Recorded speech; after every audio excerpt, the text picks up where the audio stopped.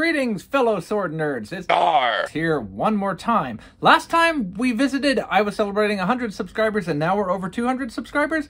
I don't know what's going on, but to celebrate, let's um, go to the movies. Now, it's always fun when you have an expert historian or HEMA fencing master specialist uh, go in and eviscerate a fictional uh, movie combat sequence or, or sword fight.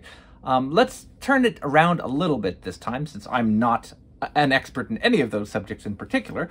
Um, let's go and look at some bad movie fights, and why don't we see if there's anything redeeming about them? You know, Mom always said, if you can't say anything nice, don't say anything at all. Let's see if we can actually find something nice and educational. Maybe we can learn something about the type of swords that are featured.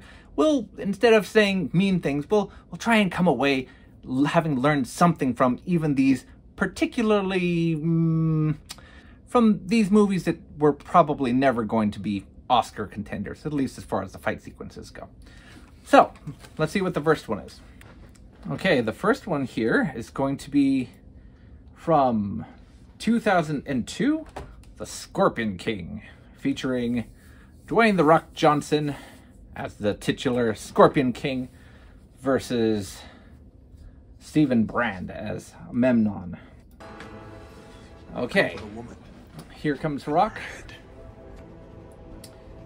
And uh oh, and the both of them each have one sword. Romantic. Bury you both together! Now, they're going at it. Let's talk about the swords for just a second. So, uh, I'll pause it when we see rock swords. There we go. Okay, so what's the setting? The setting is the third millennia BC. Um, are the swords accurate at all? No, they aren't, of course. Um, and at this, you know, rocks representing the last of the Akkadians. In this period, swords were really just becoming a thing. Um, we are in the copper transitioning to the Bronze Age. Um, we may have started to see some very early forms of sickle sword, what would eventually become known as Khopesh at that time. But otherwise, you're really just talking about, to be honest, most people would have been fighting probably using axes as hand weapons, if not spears. Um, there could have been large daggers or otherwise just kind of straight cruciform swords. So I said I was going to try and say nice things about the film, but I have to point out that the sword that The Rock is carrying has done a great deal of disservice to the sword community because it is what is called a scimitar, or is what is commonly referred to as a scimitar. Now, my good friend I Post Swords has a video dedicated just to why we don't refer to swords in modern sword collecting as scimitars. It's an antiquated term. You can find it used throughout European literature, probably starting from the 16th century onwards, but it really doesn't describe a certain style of sword other than a non-European curved sword, which is very non-specific. This one is not even following a historical design. It is at best um, taking cues from certain Ottoman swords, maybe from the 17th century, but it's kind of taking them to outlandish proportions. The size of the flared back, the yelman, um, the grip is way longer than you'd find on anything like that because it's basically accommodating two hands.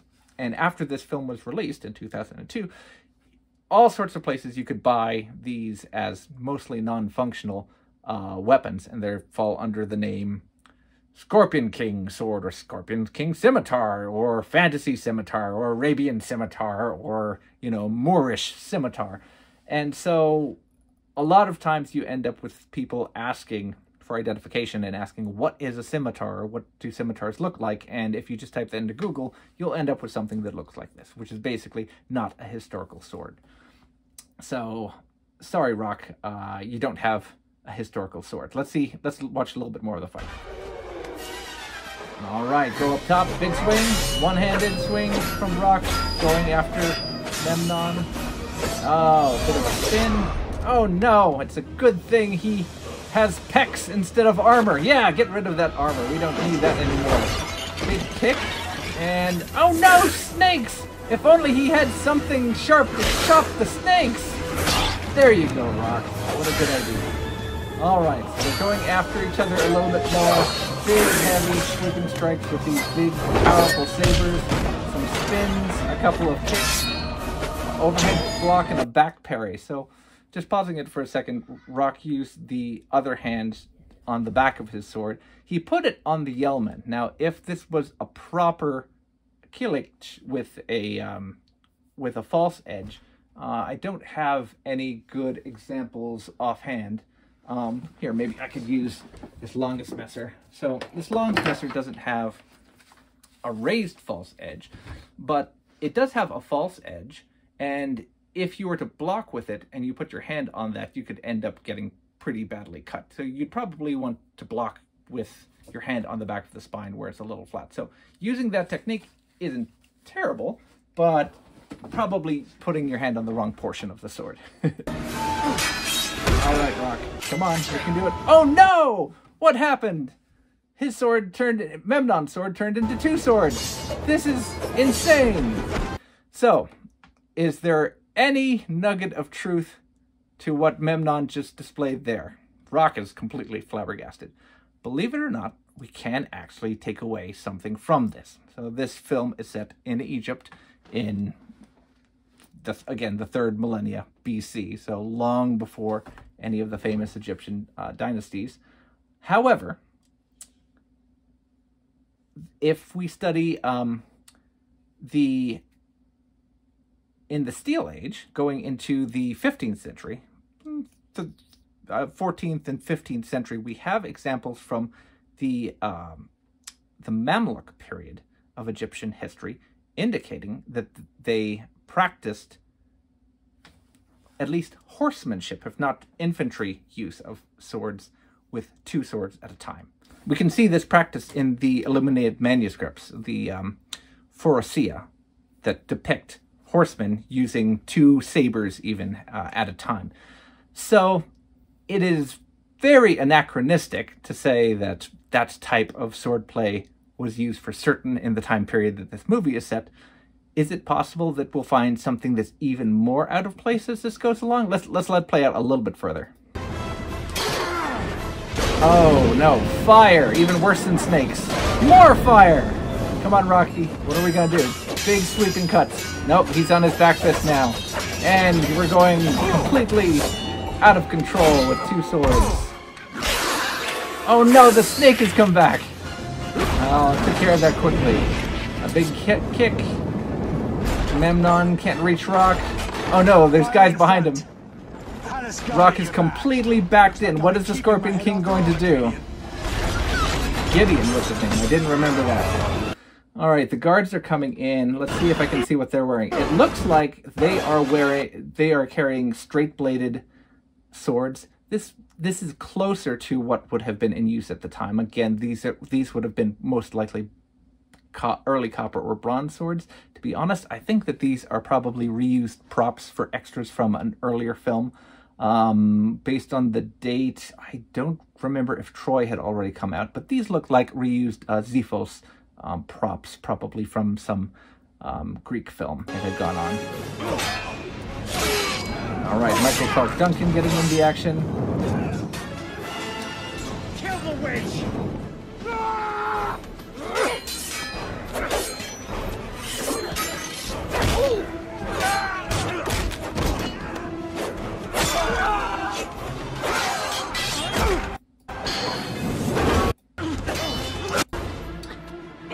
Okay, hang on, hang on, hang on. Let's see. I think we just got what we wanted to see camera works jumping around a little bit. And there, there we go. We got a nice view of it. So, Memnon, as you saw earlier, split his one sword into two swords. But in addition to it, we can now see the profile a little bit better. If I just, ah, there we can pause it. So we have a disc guard, a little bit of a curved handle, and this kind of distinct pommel cap. And again, remember, his sword is split into two. Memnon is a very advanced and possibly possibly a time traveler, he is carrying a dao, a Chinese dao, and not just any dao, it's a special type of dao that did come in this configuration where you could pack two swords into a single scabbard and then it would split apart in at the hilt. So each, rather than having a single disc guard, it would split into two. This is called a shuang dao or double dao. Um, and they were very popular starting towards the middle or late uh, Qing dynasty. Um, it, they may have started slightly earlier than that, but definitely by the mid Qing, um, you see them come into use. So this style, as depicted here, is probably from the late 18th, early 19th century. So he is using super advanced technology here, which is probably why Rocky is having so much trouble. This particular sword is a little hard to see for sure, but um, it would probably be mm, this blade shape would probably be called a Liuye Dao um, or a uh, willow leaf saber. It might be a Yanling Dao uh, or a goose uh, um, feather saber. Um, so something basically like this, but split into two. And if any anyone watching is fans of uh, Avatar The Last Airbender cartoon series, they'll be very familiar with the concept of one sword being able to split into two pieces and be stored and be stored into a single scabbard. Um, so he uh, he has some very advanced uh, weaponry to go up against Rock. Let's see how this resolves itself. Oh, here we got to watch Michael Clarke Duncan. He grabs Rock Rocky's saber and throws it to the air, and Rock catches it. Nod from Michael Clarke Duncan, and time to get business done. Right into the fire with no protection whatsoever. That's why The Rock gets paid the big bucks. Okay, so we learned at least a couple things about swords. The rest of the movie is about what you would expect. Um, yeah, a lot of fun. Interesting fact uh, years and years ago, Rock and I used to be almost neighbors, and we used to go to the gym at the same time. I used to see him all the time. Clearly, he and I use the exact same workout routine. Uh, okay, that was that was pretty entertaining. Uh, I'll give it uh, three and a half out of five scimitars for accuracy. Next up, we are going to do Shanghai Knights, the Jackie Chan and Owen Wilson buddy cop film. This is set in London in the Victorian era in 1887. So let's see what they're getting into.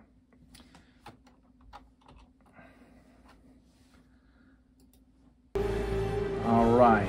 Is that Donnie Yen? I didn't remember that Donnie Yen was in this. It's been a long time since I've seen this movie.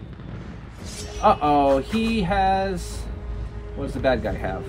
Let's see if we can see a better picture. Oh, no! He has a Chinese broadsword.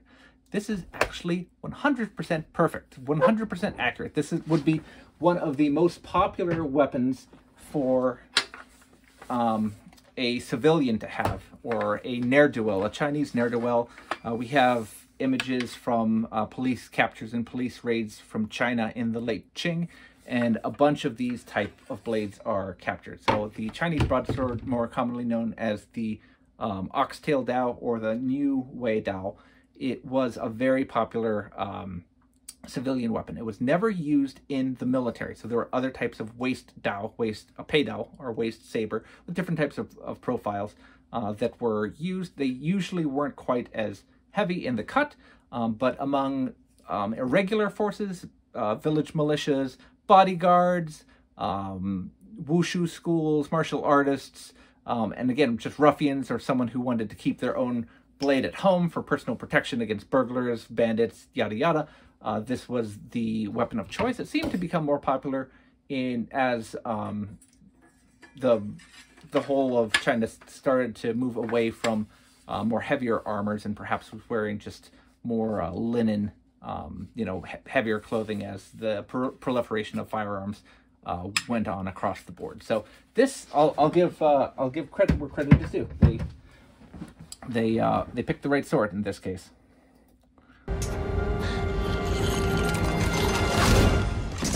He got taken out by Chon Wang. So let's see what else.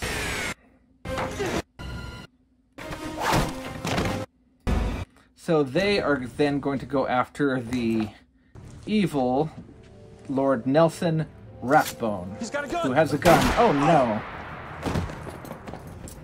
Come on! And they pursue him, and we see that he's carrying a saber of some kind. We'll come back to that. So they have to arm themselves before they can go. Nailed Artie with a little sissy gun. I'll look after him. You two go. Go!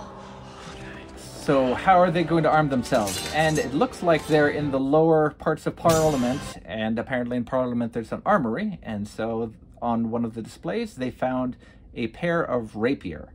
Um, these, it's a little hard to date them. These look to be uh, a later style of rapier. They have cup hilts that are pierced through, so, you know, rapiers start to become popular at the end of the you know mid late 16th century and then they continue in use for another 150 plus years depending on where the um, in I, the Iberian Peninsula they remain on almost into the 19th century um, to me this looks like perhaps 17th century rapier maybe mid 17th century could be English we'll see what they end up doing with them all right, Jackie, where are we going to do?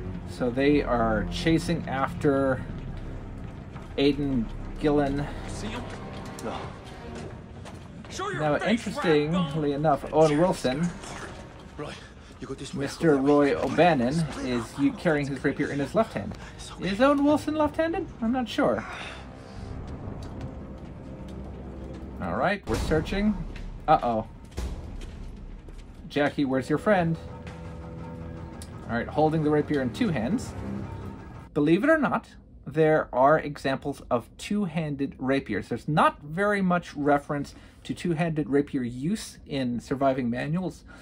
If uh, someone's aware of a lot of plays that involve uh, two hands on the rapier, please share that with me because offhand, and I definitely don't specialize in, in rapier systems. Um, I'd like to see that. But we do know of several examples of surviving rapiers where the whole hilt is spring-loaded and extends so that the um, blade and guard slide out and doubles the length of the hilt and can accommodate two hands. All right, where's Rathbone? Here comes Rathbone. All right, we're going to pause it right there. So as Rathbone comes on screen, you can see that he is carrying a saber. Now, it's not just any saber, and we'll get a better look at it later. This saber is an Indian tulwar. Now, it's not any type of Indian tulwar. It's a very specialized type of Indian tulwar that has a half basket attached, um, much like you'd find on a military uh, 19th century British military, uh, let's say officer's sword or, or cavalry saber. Um, I have asked some of my buddies who are experts in Indian arms and armor, and they have never seen this particular configuration before. Where a tulwar, which has all of the constructions of a standard tulwar held, has the langets coming up from it, the disc pommel on the bottom, then has a Western style cage attached to it. Um, there's a very few, a very limited number of Indian sabers that have some additions to them that kind of imitate a European style, but done in a an Indian fashion because there are some Indian swords that have um, other types of knuckle guards and and um, kind of Khanda style baskets, or even uh, some of the shorter swords and daggers like Katar have um, some hand protection on them. Um, this particular one, though, very interesting that the props department decided to do that. This is during the British Raj. I don't know if Lord Rathbone um, was supposed to have spent time in India. I'd have to go back and watch the film to see if there's any indication of that. So he's got his Tulwar. Oh no! Hit through Big Ben. That's rough. So now Jackie throws his rapier up. Is that a problem? No, that's completely reasonable. Um, rapiers are really good at penetrating things. If you give it a hefty shove, it should be able to go straight into wood as long as it's not completely dense. Would it stick? That's a bit. He'd probably have to get a little bit lucky for it to stay and not just fall out. Um, but right now, he then reaches under. He should be able to pull it out, no problem at all. So that's completely reasonable. So now Jackie is coming up and he's wielding the rapier by himself. And who knew Littlefinger could fence so well? So Littlefinger is fencing with two two weapons at a time, which is fine. Um, he's using the rapier in his left hand. Now, a rapier is a very big and heavy weapon in most cases. So the term rapier covers a tremendous variety of swords, and um, earlier rapiers in general were heavier and longer, and then they become lighter as we start and getting closer to the uh, 18th century and their transition into small swords. Um, this particular one, as we'll see later, looks like it's designed off of one of the perhaps earlier types of rapier that had both cut and thrusting ability. Some rapiers cannot uh, cut very well at all. Their cross section is triangular or pyramidal and doesn't really allow for um, for any cutting ability. Um, others are very good uh, cut and thrust compromised designs. Um, however, the speed at which he's using it indicates that this is a very light sword instead of the long, you know, in excess of a meter length blades that are heavy and good for stabilizing and keeping the point on line instead of it wobbling all around while you're trying to land your thrust. So the prop is probably made of aluminum and not as heavy as the, the blade actually should be, which allows him to use it very quick, even though he's using it in his left, in his offhand. Oh, uh-oh. Tulwar to the chest. Oh my goodness, look at all these spins! And a slap in the face, what an insult! Come on, Jackie, you can do better than that. Jackie's doing a good job blocking everything. I'm not seeing that much attack from Jackie.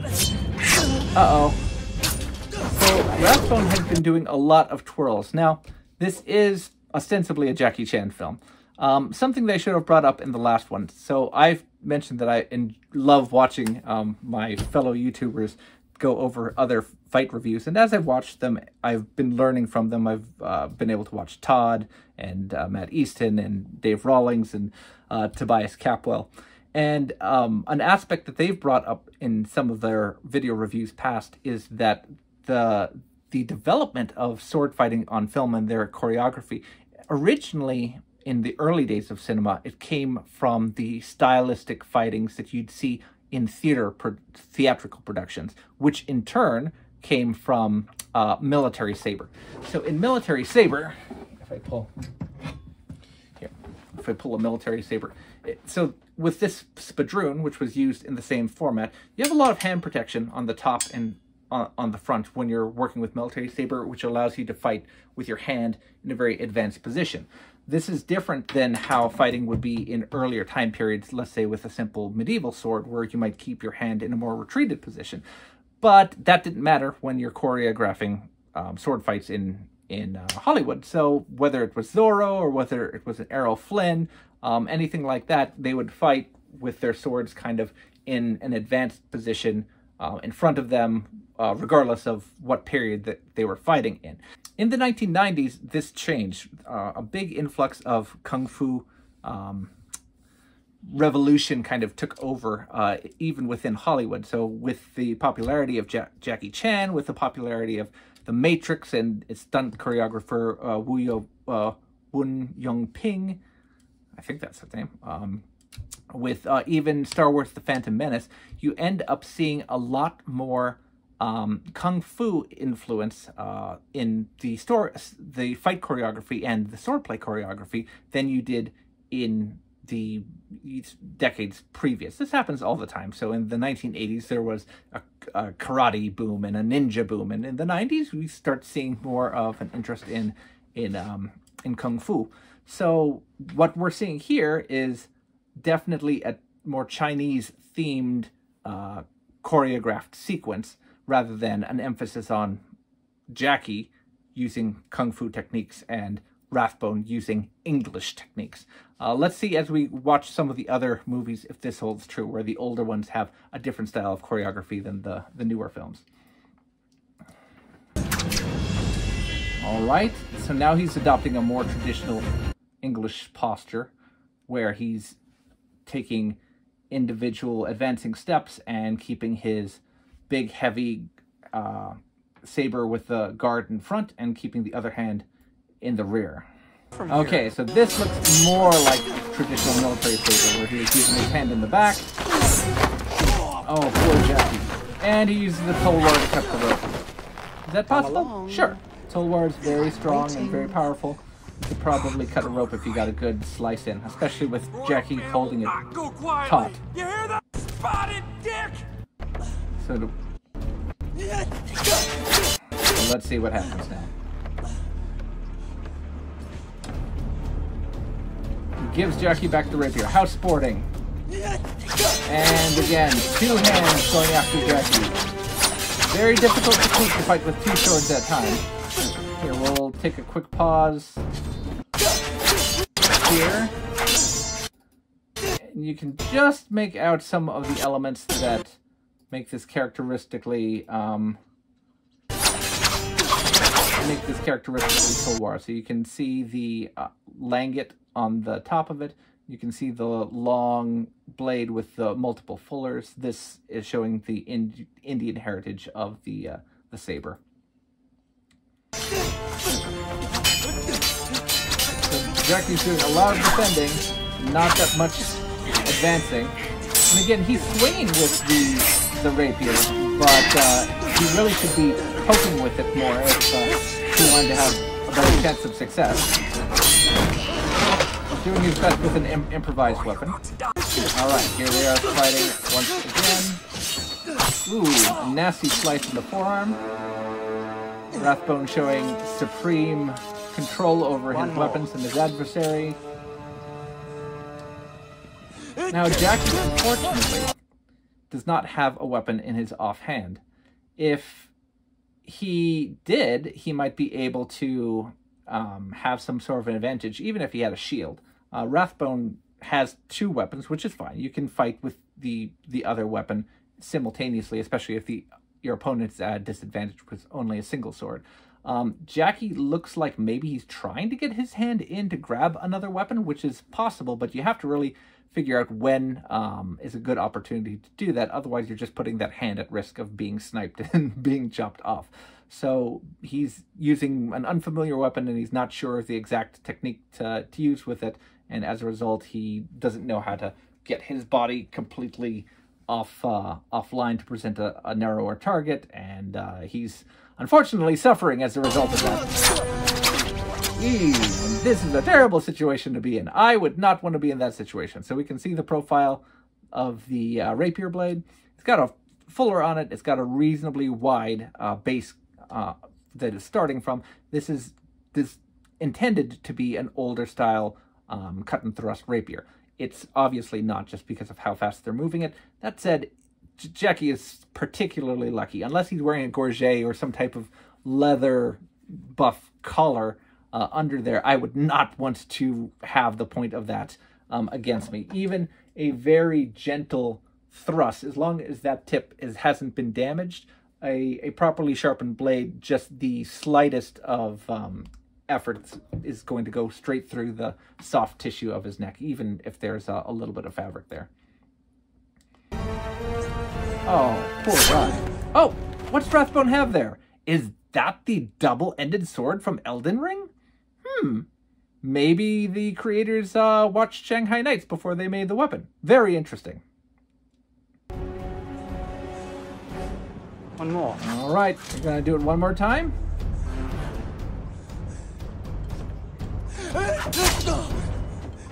And poor Jackie cannot catch a break, it looks like. And we'll end the fight there. Oh, poor Jackie. So finally won up by someone, and it had to be a stodgy Brit at that. Well, that was a lot of fun. So uh, we got to see a decent number of, of different swords. Um, the the action sequence was was actually pretty fun. Again, uh, this sometimes happens when you have a a kung fu uh, film. Um, even if they have someone from a different culture and they come in, they're much more likely to fight in a kung fu style. Uh, just because, of course, that's whoever your fight choreographer is. They're going to make sure that it fits the uh, the um, flavor of whatever the, the film is. Um, on the whole, I'll I'll give it uh, four and a half out of five uh, Chinese broadswords. Not too bad. Wow. Okay, moving along, we're going to I'm going to show you a film that hopefully you've never seen, um, because no one else saw it aside from me. Apparently, it's called Cutthroat Island from um, 1995 with uh, Geena Davis and Frank. Uh, Langella, I believe, are going to be featured in there. I think even Sean Penn might make an appearance. Um, no one saw this movie because it was a financial disaster. It One of the largest flops in recorded history at, uh, at the time. I think it it even uh, overtook Waterworld uh, when it was released. Um, so this is set in the late 17th century um, during the golden age of piracy. Let's see what swords we can learn about today.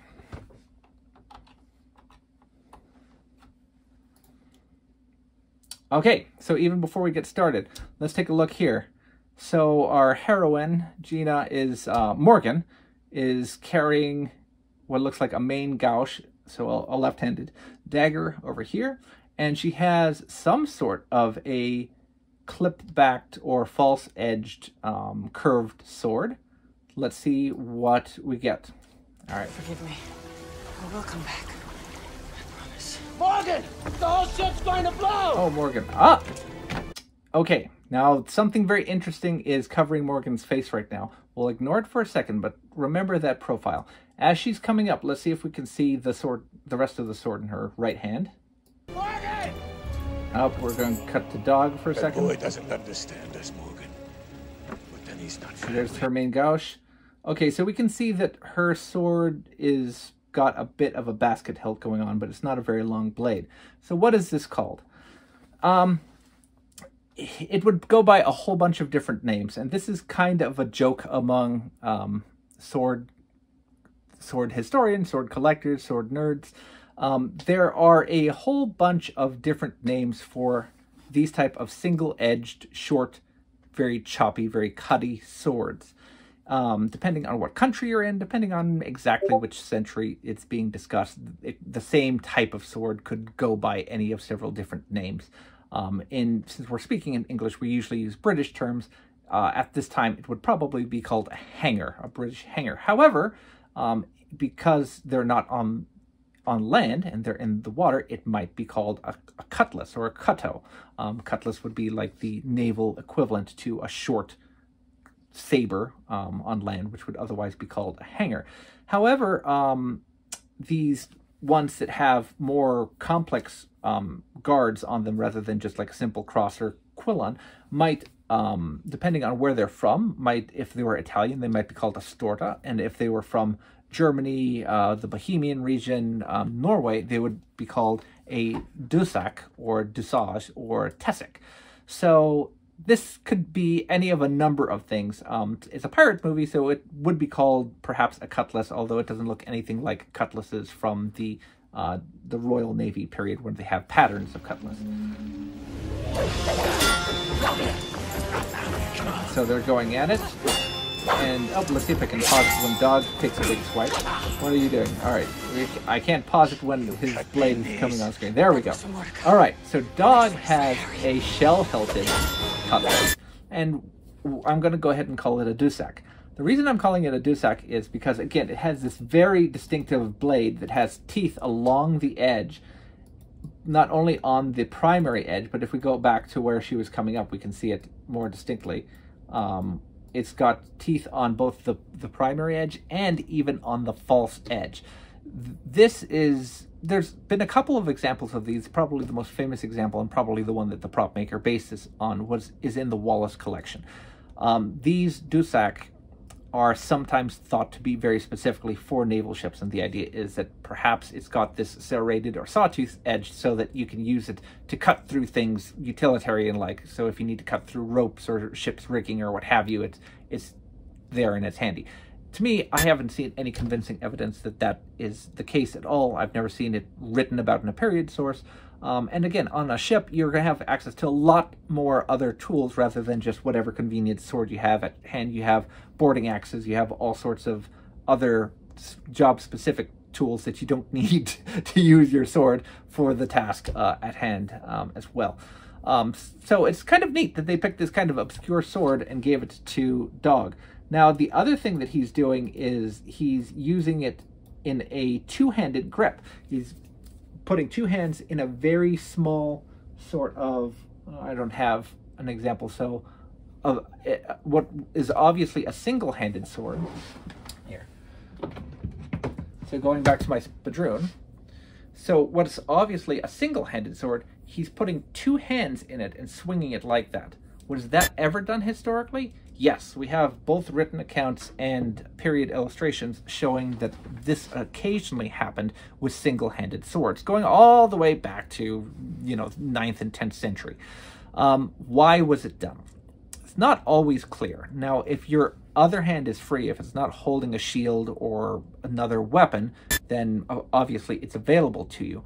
But the reasons for putting two hands on a sword that is not designed to be used in two hands like a longsword or a katana it's not entirely clear. It seems if anything like it may just be a way to bring additional strength into a blow. So if you didn't have to consider defending yourself and you weren't using finesse in your strikes. If someone was already grounded, someone was just hiding behind their shield, then you could just put all of your effort into it and just give them a really heavy blow. Or if you were going up against a bigger target, maybe a horse or something.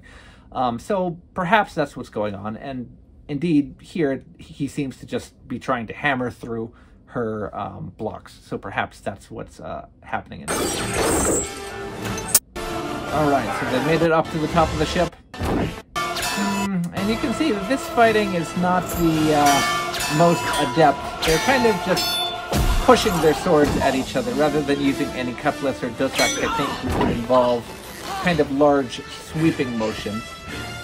They're kind of playing it safe with this choreography, and a pretty far cry from the type of combat we saw with the earlier uh, Kung Fu cinema.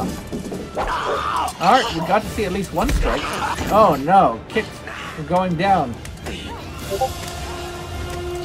There's a lot of swashbuckling going on. How will this resolve? Uh-oh. Oh, go ending up in fisticuffs. Hold out the sword again. Your father was nothing. Uh-oh. Pushing her out on the point of her sword. How is she going to overcome this? Think Come on, Morgan, you can do this. Morgan. You and me against the world. Join me. You don't have to die. How how can you overcome it when you have a sword already at your throat? You've run out of world, Morgan. Uh-oh. And I guess she wasn't able to overcome it. Well, you guys will have to watch the rest of the film to see how that um, comes out. So that was a little um, the the the fencing in that one probably left a lot to be desired, but we did still see a decent variety of, of weapons. I'm pretty happy that they stayed mostly true to the time period, and there was more than just, you know, a bog standard type of uh, plain hanger. Um, pirates were notorious for basically you know, chucking all um, conventions and and using whatever they could let get their hands on. So if someone found a fancy Dusak, have no problem using using that. I give I give this one three out of five cutlasses. Okay, so last up, we are going to look at going back to 1991, Robin Hood, Prince of Thieves, with Kevin Costner and Alan Rickman. Let's see how Robin Hood deals with the Sheriff of Nottingham. Okay, we're already in the thick of it. Let's see what's happening. All right, nice big hit. All right, so first of all, here, let's see what Alan Rickman's doing. So this is set um, after the... This is set during the time of the Third Crusade. This is set right at the end of the 12th century. Now, the Sheriff of Nottingham is wielding a big sword, a, a two handed sword. Ostensibly, it's supposed to be like a long sword. And although some two handed swords did exist in the 12th century, they are really a minority and they really didn't look like this. The great swords of war were actually quite a bit bigger. This looks like it's more like a an actual, we would call a true longsword, which really don't start to, to show up until the, let's say, 15th century or, or so. So this is kind of a little bit late period. Let's, let's see what's going on here. That is quite the blow. That's either a very weak uh, little fence or um, he's a much stronger swordsman than I've. Up, drop the sword. It was lodged. Now, that's something that's pretty realistic. If you do strike hard enough that you're actually going to get your sword locked into something, then you absolutely risk either injuring your blade or having it pulled from your grasp. So it's depend. This is perhaps more of an issue if you're um, cavalry, if you're a, mounted swordsman, but you always have to measure exactly how much effort you're putting into either a thrust or a, uh, a cut, because if you hit your target too deeply, then you risk getting your weapon stuck in your target, wh- whether it's a horse or a man or armor, whatever you happen to be striking at, and then you're just going to end up with either a broken or a lost weapon as a result of that strike. So that's always something that you have to think about. How hard do I actually need to hit the target? Maybe you do need to hit the target that well, and you're willing to accept that your weapon is either going to risk being broken or lost. Um, in this case, he probably was going for overkill, and as a result, he lost his sword. Ooh, smacking his sword against the column. Uh, not a great way to extend the lifetime of your sword. Obviously, it can happen. There were sparks that flew. Sparks can fly if you strike a steel ob uh, steel object against another steel or um, stone. Um, let's see how the fight continues. Arming sword. Looks like maybe uh, a big type 12 arming sword. Picks up... Uh oh, he's got a sword again! Wasn't expecting that! Now he's completely on the defensive. He never expected to have a sword in a sword fight. Okay, Robin, you have the high ground. What are you gonna do with it? Not much. Going away. Oh no! His sword got chopped clean in half. Now, in Kevin Costner's defense, he just smashed his sword against a steel column before, or a, a concrete column previously. Not concrete. it probably is concrete on the movie set, but uh, stone stone column previously. Um, so, did that cause the sword to have premature weakness and then lead it to a failure here? Possibly. Did swords break? Absolutely. So the historical record is littered, literally, with broken weapons of all types, including sword blades. Uh, we can see it in the art. We see it in written accounts all the time. Um, if you use your weapon enough, it will eventually give out. Um, so this, him taking a real hard static block against a powerful overhand swing, well, it's not guaranteed to break your weapon. It absolutely can happen. And maybe it was the very first block that that weapon ever took, and it's just happened that the uh, the steel was of suspect um, quality. Back once upon a time, they weren't able to refine the steel particularly well. You end up with all sorts of slag and nasty inclusions in it, and you have just one little bit of it did that uh, allows a, a, critical failure in the structure, so that when you take a, a blow in just the right spot, it propagates a crack all the way through, and your blade snaps in two. Or maybe it's developed nicks all the way along the the the fight, and one strong uh, hit allows enough flexing right at the point of that crack, and then the blade uh, goes all the way through. Either way, breaking is absolutely accurate and possible. It's not guaranteed to happen. You can never plan to hit someone and have their sword break and your sword not break, but it definitely did happen, and it was something that you just had to uh, understand is a possibility anytime that you're using swords um, to strike uh, anything, you know, aside from just flesh uh, repeatedly. All right, Robin, what are you going to do? Ah! He threw the, the hilt at the Sheriff of Nottingham. Is this a viable tactic? Sure, why not? Again, we discussed it previously that uh, there's plenty of um, techniques and recommendations for how to throw a sword um, why would you do that? Well, maybe you want to hit a guy across the room and end the fight even before it starts. Uh, in this case, having the hilt, mm, I don't know that I want to try and continue sword fighting someone who has a full blade if I only had the the base of the the forte of my sword and my little crossguard. So perhaps that was the better option, trying to hit him in the head, distract him long enough, and then do something else to, to tie up his weapon, uh, get in close and wrestle him, punch him, uh, etc. Unfortunately, Kevin Costner is a terrible shot. It wasn't even close to hitting the Sheriff of Nottingham. Uh-oh. And now he switches hand positions.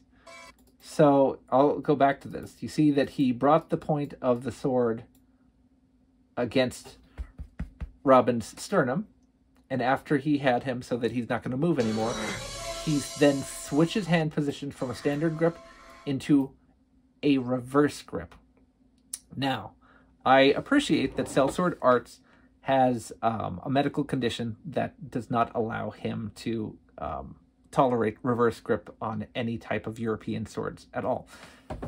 And I basically agree with almost everything that he has to say on the topic. It's a, it's a great series that he has. I'd recommend you go and check it out if you're interested in the practical applications of trying to use a sword with the backwards grip. He's done more testing on the subject in um, Trial by Fire than I think anyone uh, else has that I've seen uh, put out there.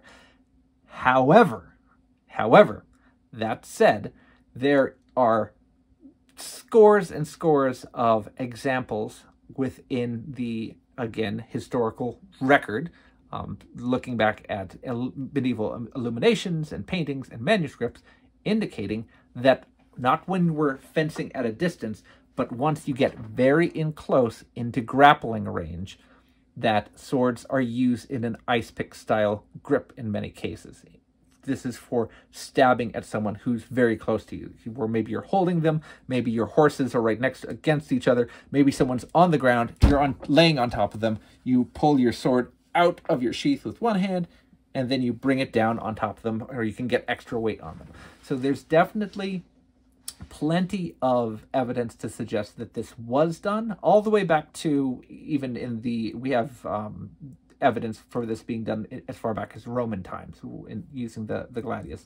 Um, if you're very close to your opponent, if you're trying to just stab them, so not using it for fencing, not using it to counter someone else's sword and try and gain an advantage and slash at them, but if you're just trying to find a gap, trying to just end them, um, get the, the tip uh, into them easier, then yes, there is plenty to suggest that holding a sword in a reverse grip was done, even from horseback uh, at times.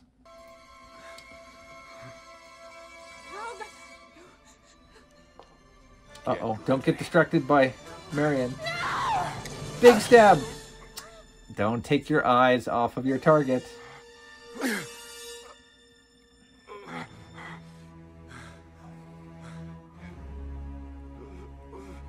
Must have gotten him in the diaphragm. Mm, oh, it looks like it's up in the lung.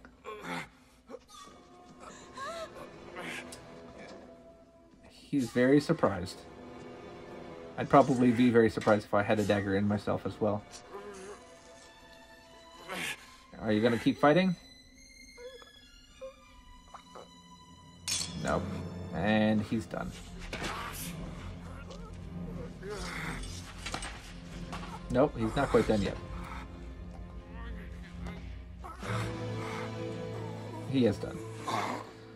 So we can see the uh, the sword that uh, Sheriff of Nottingham had a little. So we can't see the pommel, although I believe it's got a an open ring pommel, perhaps like an Irish pommel. It's got this um, Oakeshott type uh, style F cross, uh, slightly curved with um, a little bit of a, a raised point in the middle. And it's got a long blade, which has a fuller running down the majority of the length, which is probably something like a type 10A or something to that effect. Um, to me, it looks more like what you would find on a um, a later period sword, but it's possible that you could find something uh, like this even as early as uh, the film is trying to depict.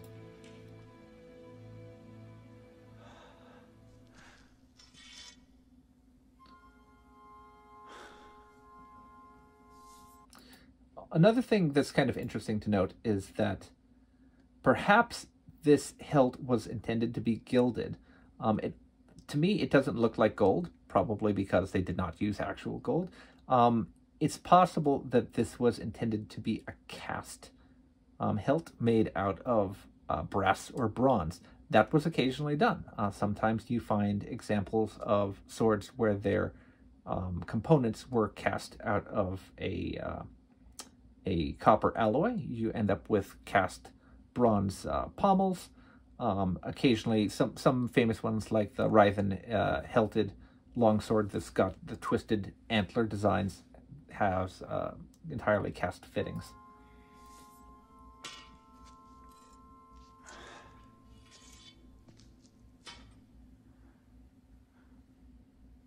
All right, we're safe now. Oh no! The crone!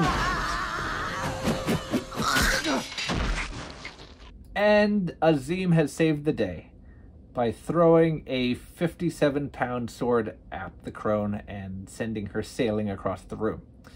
Now, I appreciate Azeem, who's supposedly a, uh, a, a Saracen, I believe he was described as, and they gave him this overly large curved sword. Now, at this point in time, it's really too early to start seeing curved swords in the Middle East. The Saracens are sometimes depicted in medieval art as carrying curved swords, which would later be described um, as scimitars. Um, the term scimitar wasn't in use at this period in time in the 12th century or even in the 13th century. Um, but later, um, historians, European historians, would have called the images as depicted in this artwork as scimitars. Um, however, th- these are more likely stylistic falchions. So the falchions are shown um, and used in his, uh, medieval history as a kind of shorthand to show who the bad guys are. Um, they're eventually curved swords do become more popular in the Islamic world, it really starts to kick off following the Mongol invasions, which is again more of a 13th century sort of thing. This particular sword, however, is a fantasy sword. It's basically an oversized Indian uh, tulwar. Uh, these particularly large ones are called tegha. Um, this one would not have been seen anywhere in the uh, in the Levant, um, nowhere in the Holy Lands, and again, it's more of like a let's say 17th or 18th century Indian design, um, but taken to comically large proportions. So it's it's kind of fun. It's a kind of uh, fun thing that they threw in there for Azeem to have. But what are you going to say to us? I have fulfilled my vow, Sadiq. He has fulfilled his vow by throwing his sword across the room. You know what? That was a lot of fun. It actually had less um, inaccuracies than I remember, and there was a lot that we could actually talk about it there. So we'll go ahead and give that uh, five out of five Little Johns. That was fun. All right, gang. So thank you so much for sitting in and watching this review. Hopefully you enjoyed it as much as I did. It, it was a lot of fun for me, and uh, we'll see about next time. We'll continue doing more um, actual hands-on sword-related action. Take care.